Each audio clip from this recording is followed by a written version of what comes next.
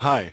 In our last webinar, um, which was avoiding monolith applications uh, with, with Axon, um, we talked about how to introduce Axon in a greenfield situation. And, and based on that webinar, I, I've got many questions of people that said, I've got an application already, I've got a big ball of mud, and is there a way to introduce Axon uh, in that situation?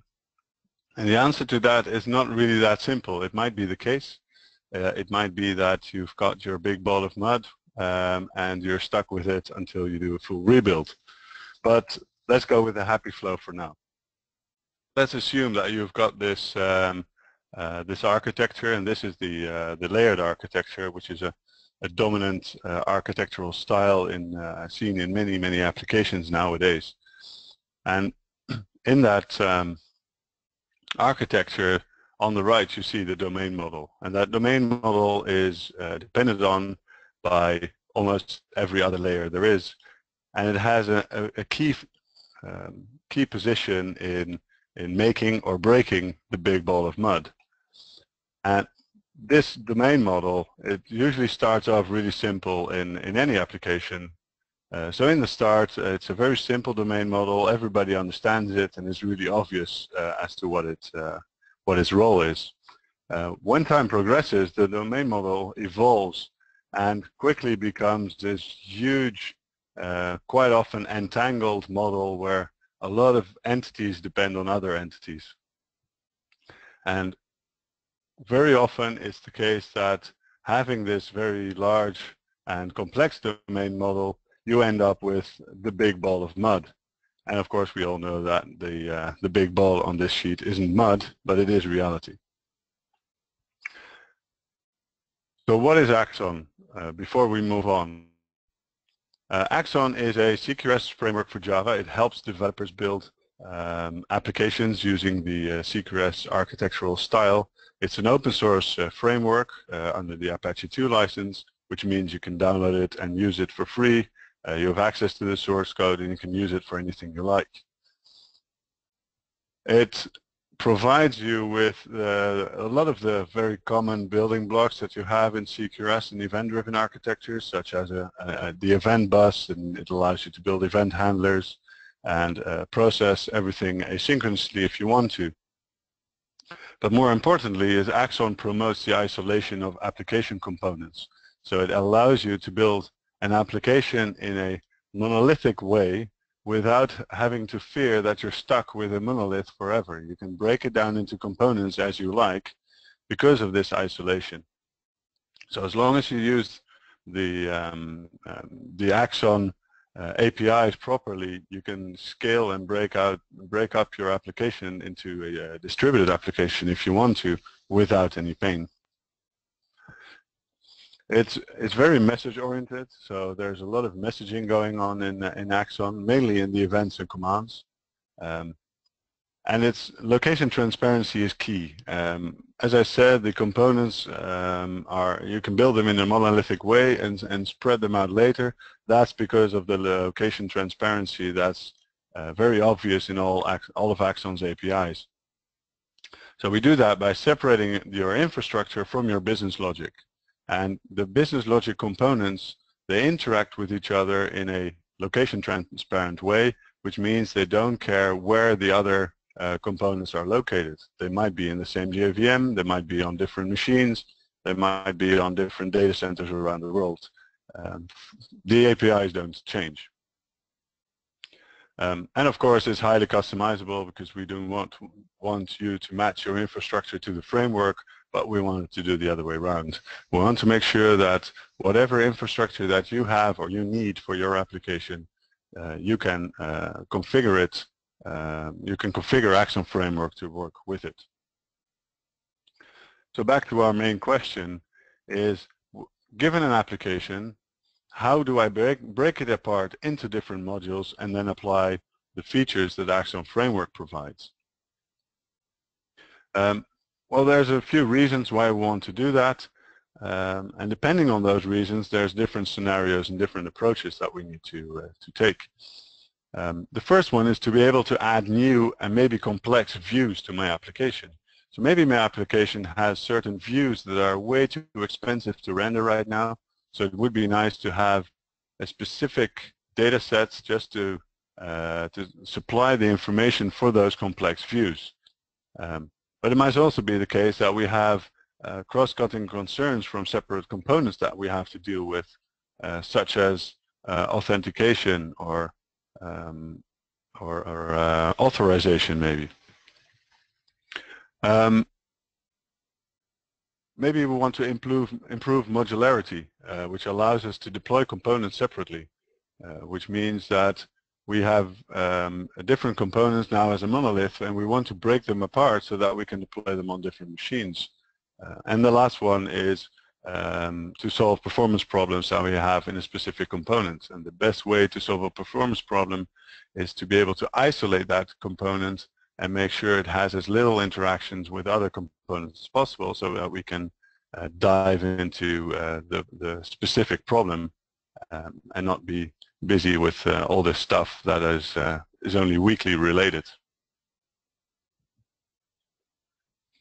But when answering those questions, I assume that an application is built in this um, um, in this layered architectural style so that we have the user interface which talks to a service layer which talks to a data access layer um, and uh, these modules have access to a domain model which is used for the rendering as well as the storage which is very common in uh, um, in applications nowadays.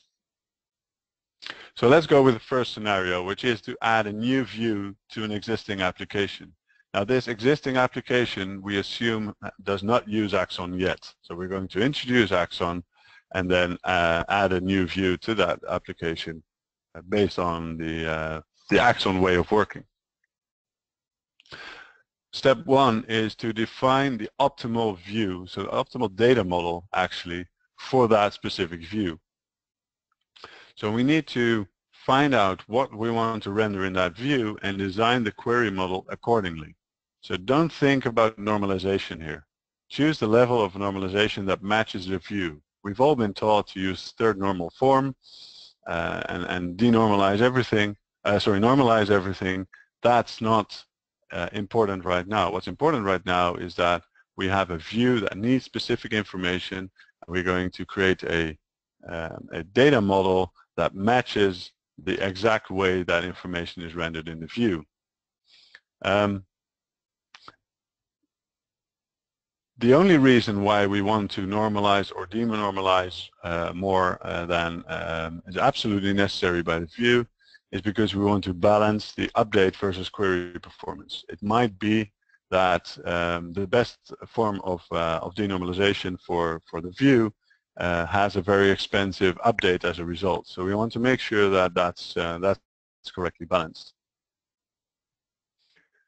Now that we have the view, the second step is to start raising events from the modules where relevant things happen. So we have to locate the services and entities where these things happen and then publish events from that, um, uh, that location. And the way to do that is to inject the event bus as a dependency to those modules and then publish domain events from those methods uh, uh, where the relevant things happen. Now, in these events, make sure that you use sensible naming because these events right now might be useful to, uh, to build up the new view, but in the future, we're going to use these events as well for new views or, or even other, uh, to update other components. So from a uh, domain-driven design perspective, these names have to make sense. Uh, they have to have a business uh, meaning. Once we have the events and we have our model, we can start creating a, uh, an event handling component and that's the component that will um, handle the events that we're publishing and update the query model accordingly. Um, so we have to create a new and separate component to hold the view model. Of course, if we don't build it in a separate component, we will not be able to distribute it later on. So make sure there's a separate component for it. And then we build the event handlers that update that model for each relevant event. So all these events are now uh, passed on the bus by the uh, components where they happen Um, so we need to register the event handler with the event bus so that we get all the events uh, um, handled in there. And once you've done that, that's basically it. That's all we need to do to create a new uh, view model in an existing application.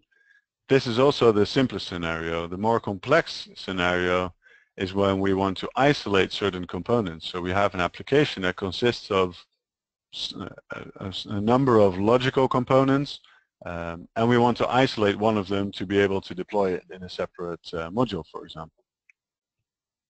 So let's assume that we've got this domain model where um, a lot of entities are connected with each other uh, and basically every uh, entity is indirectly connected to any other entity in our model um, and in, so we have this huge um, yeah, monolithic uh, model.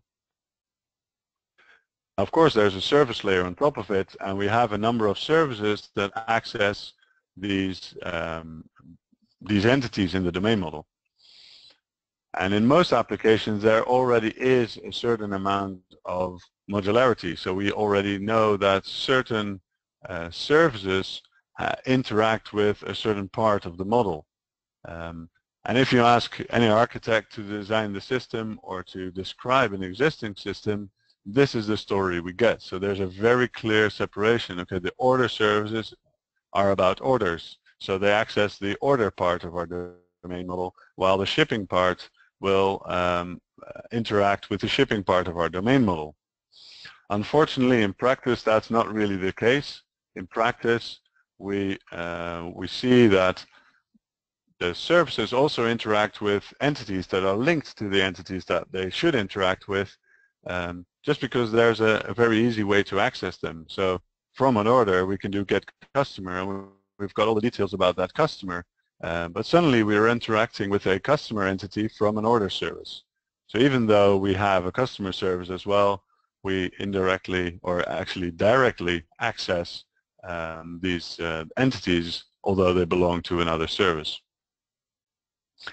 And whether or not we can isolate these components for the, uh, mainly depends on how entangled these um, uh, service calls are. So all we need to do is we look uh, when we look at our domain model, we need to untangle these classes and make sure that the uh, order and the user in this example, uh, as well as the order item and the product, they they are less coupled as they are right now. So right now you can see that the order is linked to a user, um, for example, using a, a, Hibernate mapping or something, but the, the user is directly accessible from the order. That's not something we should be doing. If we decide that they are separate parts and separate components of our uh, domain model, we should not directly link them. So what we can do instead is instead of using the user object in the order, we can just mention the customer ID. Just mention the identifier of the user. If you need access to the user itself, you can go to the user service and do whatever you think is necessary to interact with the user. And that way we've got um, we've got our model um, untangled and now get our uh, services only access the components that they should be accessing. And we do the same for the order item which refer to the product. But of course, we've got certain queries where you combine data from a customer and the order together to show that uh, that data. Well, you can always fetch the customer from a repository based on the ID that you get. Uh, so you can combine that information and then present it uh, to the user. And in certain cases, on the user interface, you have a situation where you want to combine the order and customer data um, so how do I deal with that? And that's exactly, when you look at CQRS, that's exactly where the Q is for. So we separate the command and the query responsibilities because the query model is different from the command model. In the query model, we very often want to combine information from different aspects, whereas in the command model, we want to keep it as focused as possible. So that's why we really want different view models as well. So let's look at how this view model, what this view model could look like. And on the right side of the screen, you see the order and the order item. And in green, there's the customer name and the customer address in the order. And there's an item name and a tax percentage in the order items. Now, these are attributes that in a command model do not directly belong to the order itself. Conceptually, an order belongs to a customer and a customer has a name. But in this view model, we don't really care about that. What we care about is who has bought a specific item and where do we need to ship it. Uh, so we store that information uh, directly in the order itself. And that one we do is we use events to update those models. Uh, so we have a, a, query model updater component uh, or class that listens to specific events. In this example, the order created event, the order item added event, and the order confirmed event and it updates the order and order item uh, accordingly. Now, of course, there's denormalized data in there, uh, the customer name and the customer address. So when an order is created, we have to look up the current address and the current name of the specific user because probably the order created uh, event only contains the identifier of the user and not all the personal details that we might need. So what we do from the query model updater is we can query the uh, user component and the product component for the relevant information and then combine that all into uh, into the query model that we have. So we don't have to combine it on every query again and again, but we just combine it once when the order is created and then uh, store it uh, in our view model. Now, once we've done this, we might have untangled a small portion of our um, uh, of our domain model um, and from here, it's an iterative and incremental process to, to extract all the query models that we have. So one by one, and of course starting with the most important one or the most, maybe the easiest one to get you going and then move on quickly to the uh, most difficult one to make sure that what you're trying to do is a, is a feasible job. You extract all the query models from your application one by one. And then what remains is basically your command model. Um, so now we can redesign that command model. We can throw away all the data that we don't need anymore. Um, and we just keep the data that we need to guard the invariants in our, um, in our application. For example, a customer name in a command model is hardly ever needed because the customer name is not part of any invariants. Um, so if, if the only thing we need to do is uh, throw an event when a name changed, we might not need the name to um, uh, to do anything else. Of course, we want the name in in the view, but then it's part of a view model. And the last thing we should do is use explicit command objects instead of direct calls because it gives us the location transparency that we need to be able to scale an application beyond a single uh, single machine. So if you want distribution, having explicit command objects makes the job a lot easier So basically, that's um, that concludes this uh, this webinar. Um, if you have any questions, uh, feel free to uh, to send me a message or get in contact with uh, Amsterdam, and we'll uh, try to answer them uh, as best as we can. Thank you and goodbye.